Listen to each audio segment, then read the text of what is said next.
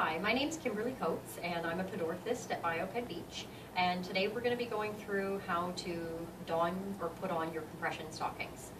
So with me today, I have the compression sock that I'm going to put on. Uh, the compression factor here is a 20 to 30 millimeters of mercury. That's the amount of pressure that's going to be applied right at the ankle. Um, the compression, because it's a graduated compression stocking, the compression is going to reduce as it goes up the leg. So by the time you get up to the top band of the compression stocking, if it's a knee high, it's going to be still fairly flat. You'll be able to pull the top. It's not going to be digging into your leg. So I'm going to use donning gloves to put on this pair of compression. Donning gloves are going to allow you to use the, the palm of the gloves more than using your fingers to try to get the, the stocking on. So you're not going to be as hard on the compression. Uh, you're less likely to damage it if you're wearing any rings or if your nails are catching on things. You, they're, they're still a compression sock. They're, they're still able to be damaged, um, but if you're wearing your gloves, you're going to be a lot less likely to have anything happen. One of the reasons why we're showing you this though is because it also makes it a lot easier to get the stocking on because you can use more of your hand to help to pull it up and it's going to grip well to the stocking.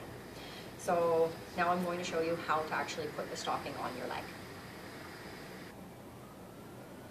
Okay, so now I'm going to put the stocking on my foot. So to start off, I'm just going to bring the stocking up to a point where I'm basically just feeling the stocking stretch, but it's not going anywhere. I don't want to keep pulling because I'm, it's going to be harder on the sock.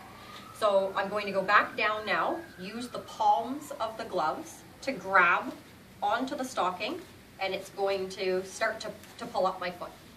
And I'm going to keep going up from the foot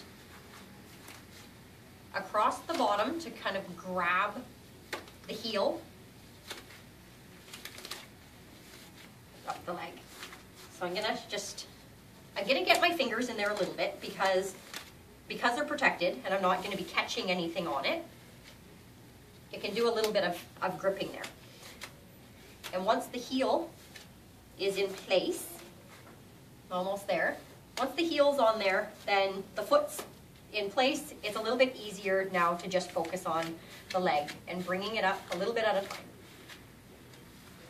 Once I get to the top, you want to have about two fingers between the top of the stocking and the crease in your knee where it's bending.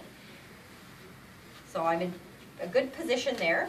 And then I'm just going to go back and kind of just rub my hands over the stocking and, and make sure that the pressure is nice and evenly spread out. And that's it. So